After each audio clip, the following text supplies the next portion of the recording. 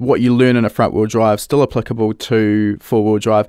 Obviously, with the rear wheel drive, a little more uh, finesse maybe on throttle control uh, if you don't want to just be doing donuts on a corner exit. Yeah, it, it's throttle control. It's knife edge. Like a, a front wheel drive has this really soft limit. So there's like this soft radius of like, you know, what can you get away with before you've slid so far that you can't bring it back?